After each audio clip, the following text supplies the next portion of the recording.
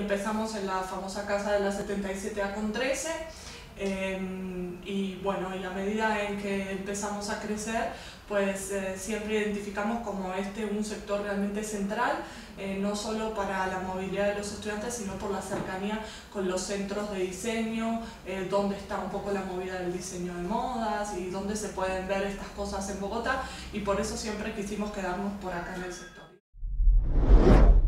Bueno, la idea del edificio en realidad empezó, te voy a decir, hace por lo menos cuatro años. Lo que pasa es que pues, para lograr el espacio que queríamos necesitábamos seguir comprando unas casas. Entonces, exacto. Entonces, em, como idea empezó hace muchos años. Eh, cuando tuvimos ya la mayor cantidad de casas, eh, contratamos un, eh, un grupo de arquitectos que la idea mía siempre fue buscar gente joven, ¿no?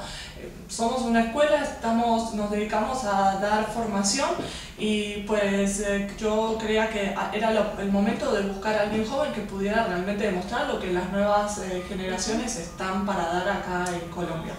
Y por otro lado porque quería unos arquitectos que pudieran traer ideas nuevas y no como caer en lo mismo que estábamos viendo en el mercado en ese momento llegué a dos arquitectos que uno eh, ha trabajado mucho con estándares internacionales, con empresas multinacionales que tienen estándares muy claros de calidad, de cumplimientos, etc.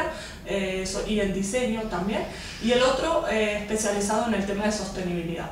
Entonces hicieron como una buena combinación entre la parte, digamos, con, con, un interés social, pero también con la, el rigor de las normas, por ejemplo, americanas, de calidad, de, bueno, etcétera, cosas.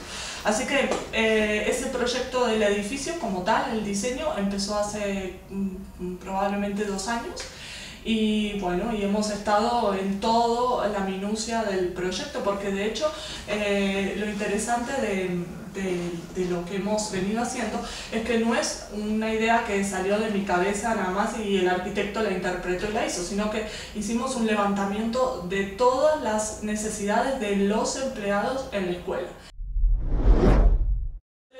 Eh, como tal tiene que respirar varias cosas. Una de ellas es el tema de la responsabilidad con el prójimo y el medio ambiente. Entonces, eso ha sido uno de los retos en el proyecto, porque muchas de las cosas o de las acciones que se toman en pro del tema de sostenibilidad, pues la gente no lo ve. Y como este es un lugar donde van a pasar muchos estudiantes, tiene que dejar una huella. Entonces la idea es que el estudiante que alguna vez tomó, va a tomar clase en nuestro edificio, por lo menos entendió de cómo realmente se maneja responsablemente el reciclaje o lo que sea. Entonces, por un lado, eh, tendrá que respirar, digo, su sostenibilidad por todos lados. Vamos a ver cómo lo logramos porque, pues es lo que te digo, hay que hacer evidente los esfuerzos que se han hecho en ese tema. Y por otro lado, pues el tema de la industria, pues la escuela eh, dentro de su visión y de su misión tiene eh, el vínculo con la industria.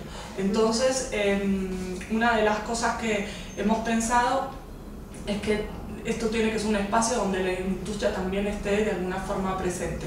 Así sea a través de showrooms, así sea a través de espacios, eh, no sé, para docentes o para estudiantes restaurante grande, cafetería grande, eh, no es eh, un edificio de clase, eh, es un espacio donde hay, es un edificio donde hay todos espacios técnicos especializados.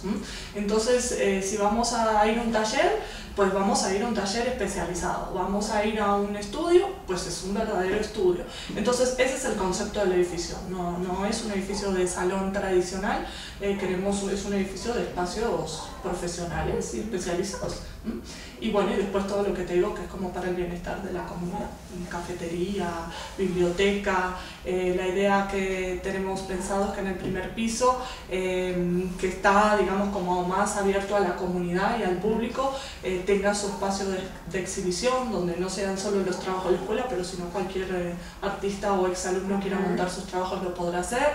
Tenemos el restaurante, hay un espacio de auditorio flexible para diferentes tipos de muestras y eh, tenemos un espacio que llamamos como mini comercial papelera que la idea es que pueda funcionar 24 horas, entonces, por ejemplo, nuestros estudiantes que tienen entregas y que sabemos que el ritmo del trabajo los hace amanecer trabajando, pues pudieran estar en un espacio seguro, donde tengan todos los servicios de plotter, etc.